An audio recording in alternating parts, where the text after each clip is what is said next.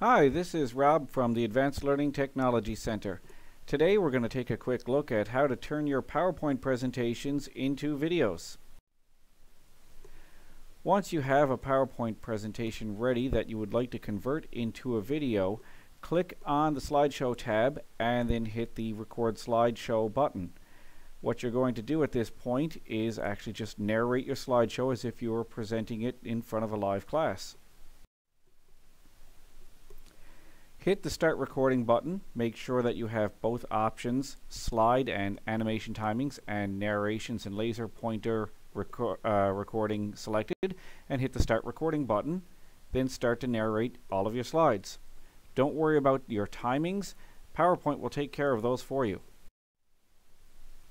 Once you have finished recording the narration for all of your slides, make sure you hit save for your presentation and then go to the save as option and select the export button.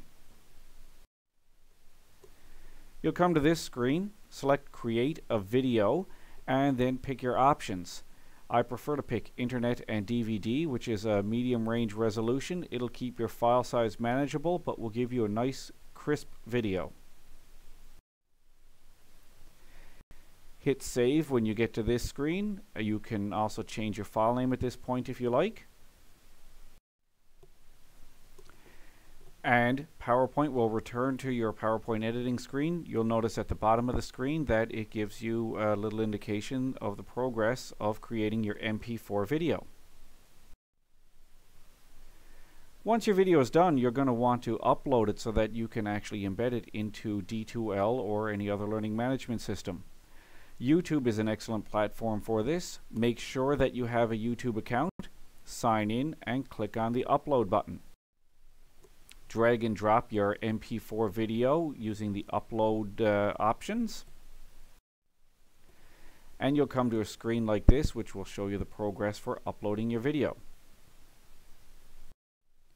Once your video is fully uploaded, before you hit the publish button, make sure you add in a quick description and select any playlist that you would like to add your video to. In this case I added in a quick description of what this video was about and I selected my D2L course building tools playlist. I then hit the publish button and my video is now available on YouTube.